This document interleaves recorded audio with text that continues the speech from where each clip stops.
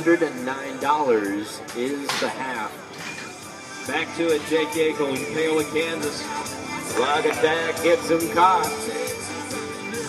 Keep him going, ladies and gentlemen, keep him going.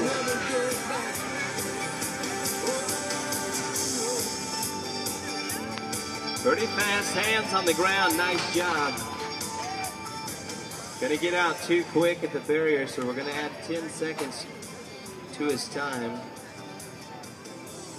So a 17 and 4 will go to a 27 and 4 on the run for Jay.